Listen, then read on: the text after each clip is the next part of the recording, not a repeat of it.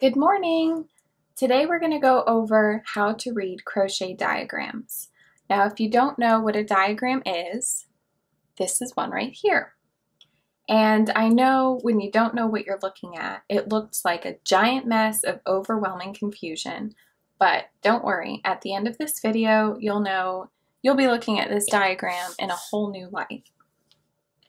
Now diagrams can be used to read crochet patterns in its entirety, like without written instructions, or sometimes it's paired with a written pattern so that it enhances the pattern even more.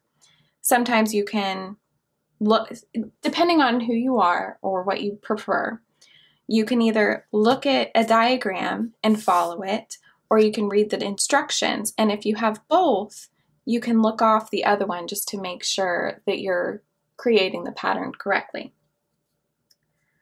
Now, the first thing that you need to do to get familiar with these is to go over the basic chart symbols that are used in every language. So, one of the cool things about learning how to read a diagram is that if you find a pattern that you like in Japanese, let's say, you don't need to read the Japanese language in order to understand the pattern if you have the chart, because all the symbols are the same in every language, and I think that that is amazing. So the first thing we're going to go over are the symbols. You can find a longer list of symbols over at the Craft Yarn Council, and I'll leave that link down below.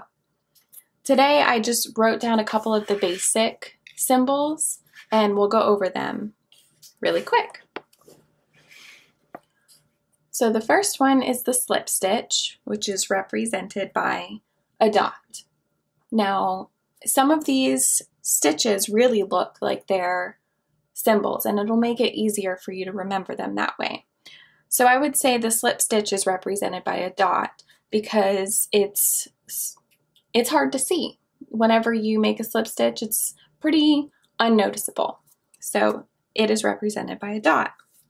Now the chain stitch is represented by an oval. And whenever you are crocheting and you're making a chain stitch, as you know, it kind of looks like an oval. So that's how you can remember that. For the single crochet, it is equally common to see either a plus sign or an X. For the half double crochet, you will see a long T the double crochet is represented by the T with one slash mark in the, in the center. To remember the double crochet, the slash mark is meant to show that you are yarning over once before you insert your hook. So you know when you do a double crochet, you yarn over, insert your hook, and continue to pull through and all of that. With the treble crochet, you have two diagonal lines, and that's because you yarn over your hook twice before you insert your stitch, insert your hook into the next stitch. For the single crochet two together, you see two plus signs, and they are together. So you can see that this would be, this would count as one stitch because you're doing both together. Same with the double crochet, two together. As for the three double crochet cluster, this is kind of like the double crochet three together, except instead of working over three stitches, you're working into one. So this is kind of like a mini bobble. You'll work three unfinished double crochets and then you'll yarn over and pull through all of the loops that are left on your hook. And you can see that top hat or line across the top. That shows that it only counts as one stitch. Now, this is something we're going to go over a lot today. It is the five double crochet shell. This is where you crochet five double crochets in one stitch, creating this shell. All right, so that is it for the symbols. And like I said, you can download the whole symbol chart at the Craft Yarn Council, and I recommend printing it out or at least bookmarking it on a website so that you can always look back and see it. Diagrams can be drawn out for patterns that are row by row or in the round. Now first I'm going to go over what charts look like when you're reading them row by row. So this is a simple diagram that I created myself and I'm going to show you, first we're going to go over how to read this and then I'm going to show you what it looks like to crochet it. So first, most patterns have this key. Most chart patterns have this key so that you know what each symbol means. So even if you don't memorize them, they usually have this so that you'll know. So the first thing we're going to do is when we're working in rows, we start from the bottom and we work up.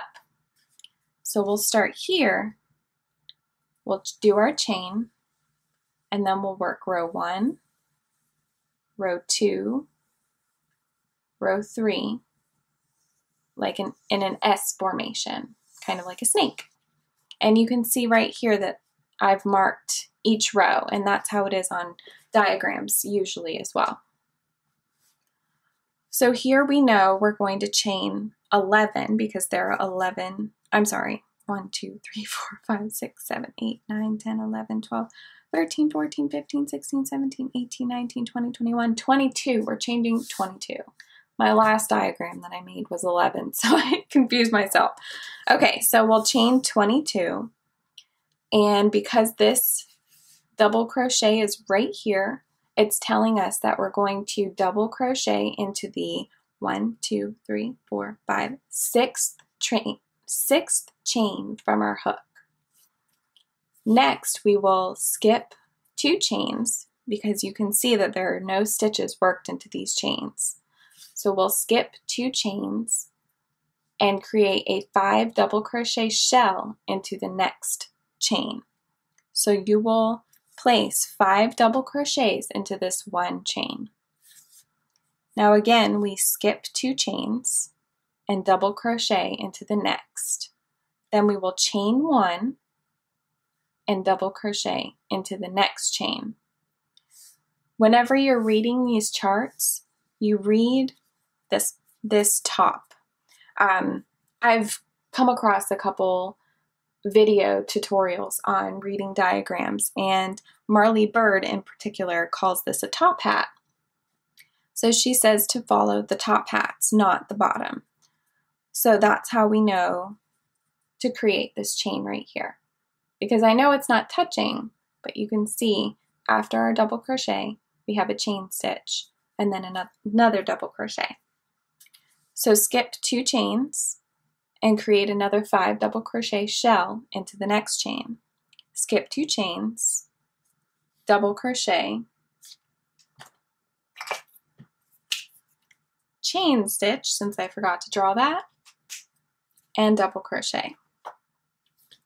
Now after this double crochet, you will chain four. One, 4, and because, see how, actually I forgot to go over right here how we, we double crocheted into our sixth chain, these four chains right here count as a double crochet and this counts as a chain one.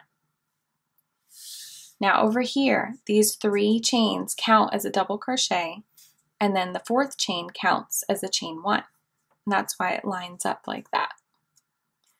So into our next double crochet stitch, we will crochet a double crochet.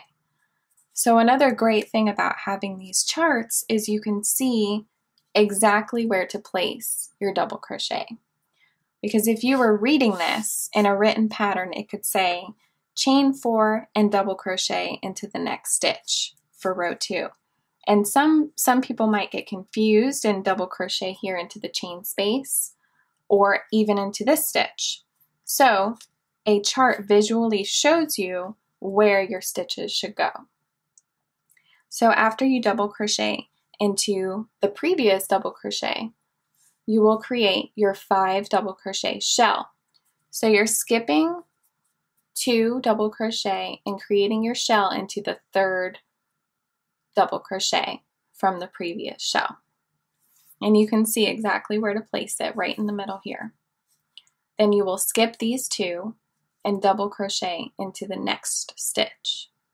Chain one, double crochet, double crochet, shell, five double crochet shell, double crochet, chain stitch, double crochet.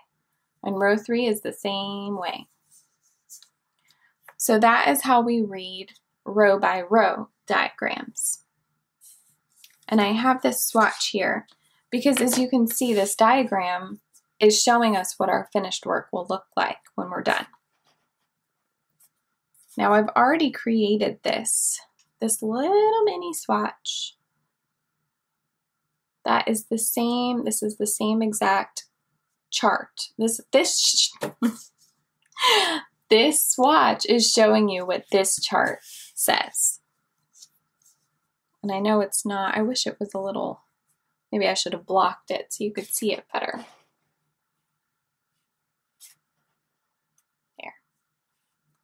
So you can see our chain, our chain four and chain one stitch, our first double crochet shell, our double crochets, our second double crochet shell, and our double crochets, and so on.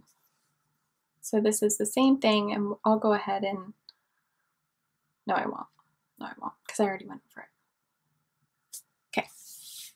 So now I'm going to show you how to work it in the round. Now I have a chart online on the computer that I put together, but I didn't print it out. So I'm just going to go ahead and show you in this book. Let's see. Now this is just a typical granny square, so I'm not showing you anything you know, bad. Okay, so this is a chart that is worked in the round. I just wanted to show you what it looks like. Now, as you know, whenever we're working in the round for a granny square, we start from the center and it grows bigger. So the same as any other any other granny square, you will start from the center. Now this center is telling you to chain four. So you have one, two, three, four and see that little dot? That's a slip stitch. So this is telling you to chain four and make a slip stitch to your first stitch to create that circle. Then you're going to chain five and work three double crochet into the circle. Chain two, work another three double crochet into the circle. Chain two, three double crochet into the circle, chain two, two double crochet into the circle, and this dot is telling you to slip stitch into that third chain right there. This dot is telling you to slip stitch into the chain space that you created and then move on to round two. Now you can also see that in, in the round diagrams that each row number is right next to the chain at the beginning of each row.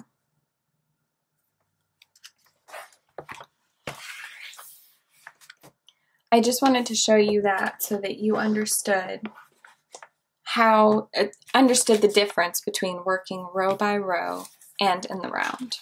Now before I end this tutorial today, I wanted to make sure that I actually go over physically how to crochet using only a chart. Okay, so instead of dealing with that giant tangled mess, as you can see, I've decided to show you with just a different color. And I'm going to use bright orange so that you can really see these stitches. So let me make my slip knot and get my hook all ready. Now this is the diagram that we're going to go off of and really quick we can go over it. So as you can see, we have a few different symbols here. The ovals are the chains, as we know. The, these symbols are the double crochet with the slash in the middle. These are also double crochet. They're just worked in a different way, and we'll go over that. And the plus signs are single crochet. So that's all you need to know for this one. So I'll put that right here so you can still see me work along with it. Now for the bottom, remember for row by row, we're going to work from the bottom in a zigzag formation. So first we will need to chain 1, 2, 3, 4, 5, 6, 7, 8, 9, 10, 11, 12, 13, 14, 15, 16.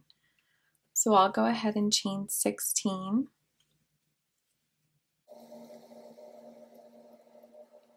Okay, here are my 16 chains. And the first thing our diagram tells us is that these chain, this chain three counts as a double crochet and this chain counts as a chain one. So we're going to double crochet into the sixth chain. So one, two, three, four, five, six. So we'll go ahead and do that.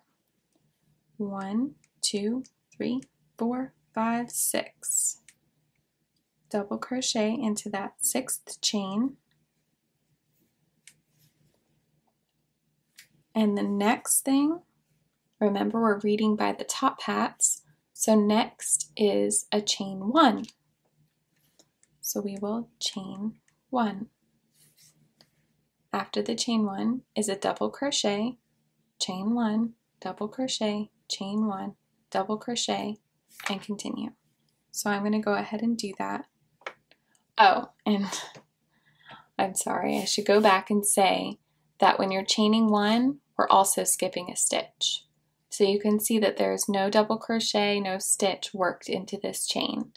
So when we chain one, we skip the next stitch and then double crochet into the next chain. Chain one, skip the next chain, and double crochet into the next chain. So we're skipping a chain and double crocheting, chain one, oops, chain one, skip this chain, double crochet into the next chain,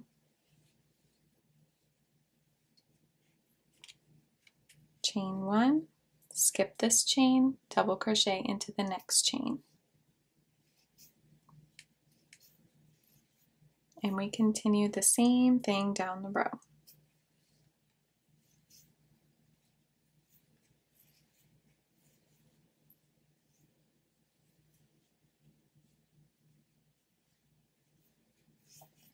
So we have our first row of double crochets and chain ones. At the end, well first I will say that you can look at this diagram and see that it's showing you exactly what we have right here. And so the next row, row 2, we're going to chain 3.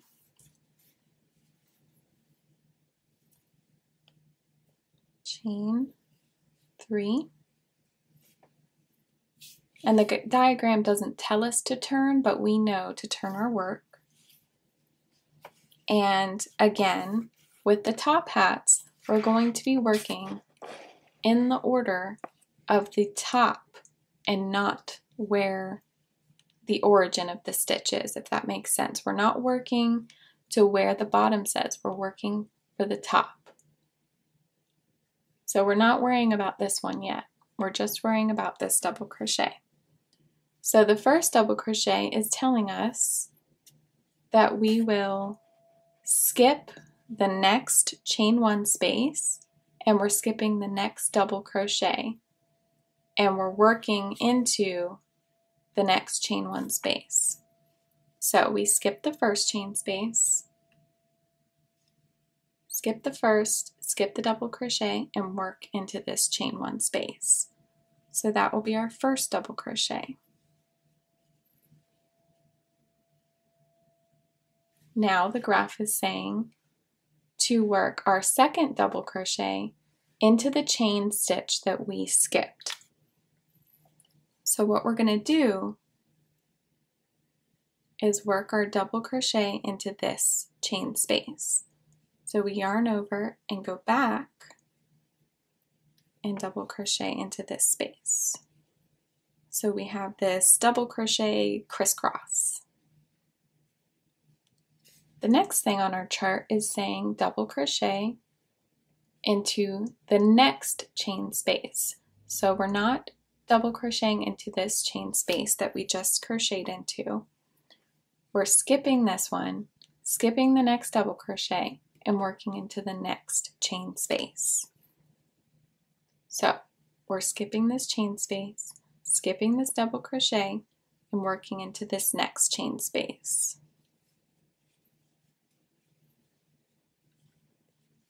The next stitch is saying we go back and work into the same chain space that we worked into before. So we're going back to work into this chain space.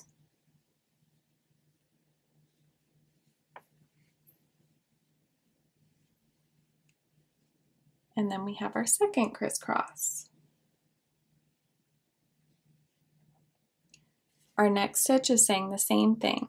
We skip the current chain space, we skip this chain space, skip the next double crochet, and double crochet into the next chain space. Then we'll go back and double crochet into the chain space that we skipped. So skip, skip, work. Now go back and work into this one.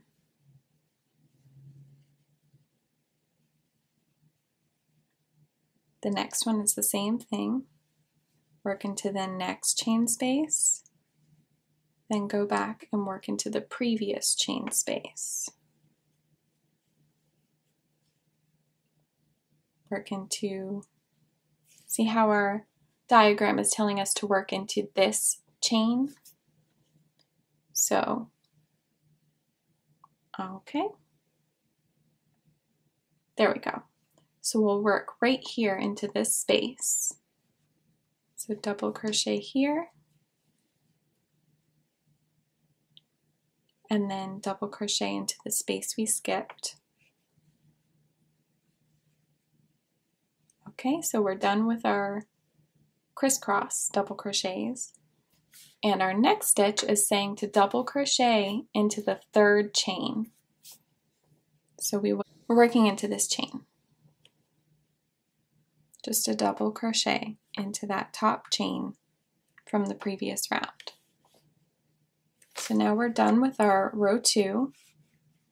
This is row one, row one, row two. Now row three, we're going to chain one and single crochet into the same double crochet. So chain one, turn, and single crochet into this double crochet stitch. Just like that. And then we're going to single crochet in each double crochet across. So I'll go ahead and do that. This part's easy.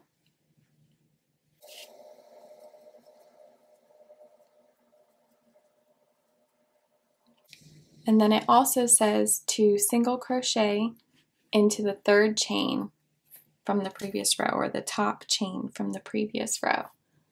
And this is our chain right here, so we're going to single crochet into the top chain. Oops.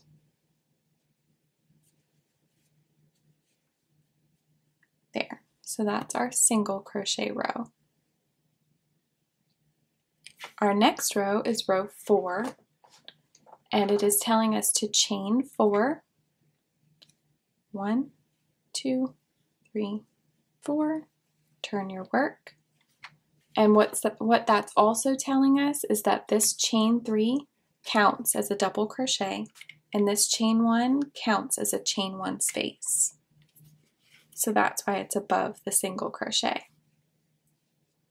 So because this chain three counts as a double crochet, we're going to skip this single crochet and double crochet into the next stitch. So skip, skip the base of the chain, skip the next chain or single crochet and then double crochet into the next.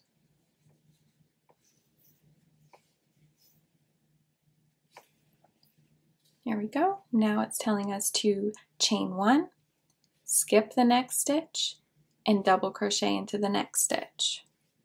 Chain one, skip next stitch, and double crochet into the next stitch. And as you can see, it repeats the same way.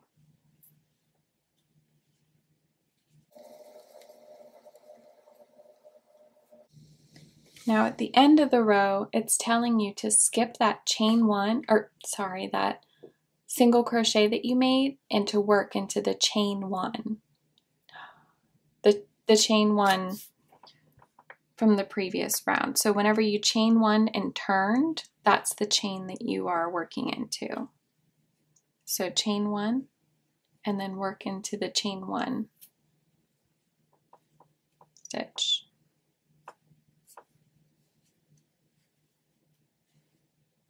That way you still have that gap instead of working into the single crochet. Now, row five, we are chaining three and turning our work.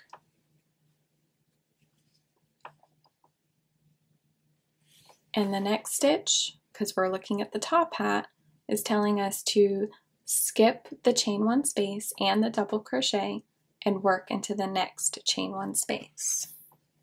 So we're going to skip this chain one space, skip this double crochet, and work into the next space.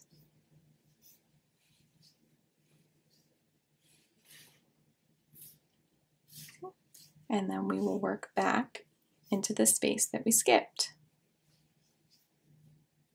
Because that's what this stitch says to do. And now we'll do the same thing. We'll skip the next double crochet and work into the next chain space. So skip, work into the next space. And then we're going to go back and double crochet into the space we skipped.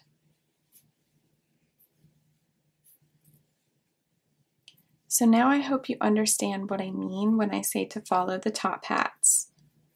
It just means it's if you hold your pattern like this, you see that you're just working in order. I don't want these crisscrosses to confuse you.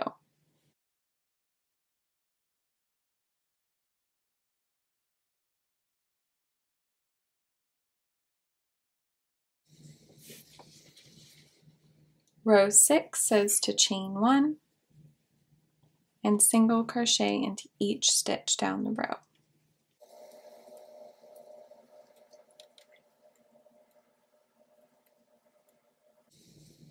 And don't forget the chain, the top of the chain three from the previous round. Now our last row we'll do again. It is telling us to chain four, one, two, three, four, turn, and we're going to skip the next single crochet and double crochet into the next because that chain one counts as a stitch. Chain one, double crochet, chain one, double crochet, and remember you're skipping a single crochet after each double crochet. Chain one, skip single, double crochet into the next.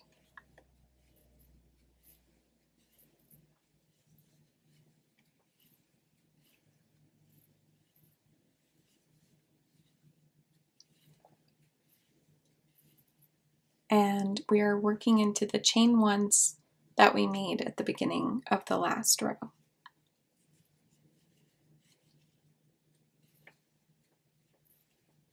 All right, so we have just crocheted using a graph. So that is how you read a crochet diagram and turn it into a swatch. So we have our diagram and our swatch that matches.